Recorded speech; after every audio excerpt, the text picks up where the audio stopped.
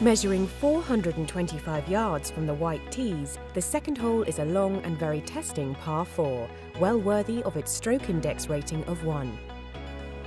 Even a good drive, avoiding the meadow rough on both sides of the hole and favouring the left-hand side of the fairway, will still leave a lengthy second shot into a long green that slopes significantly from right to left.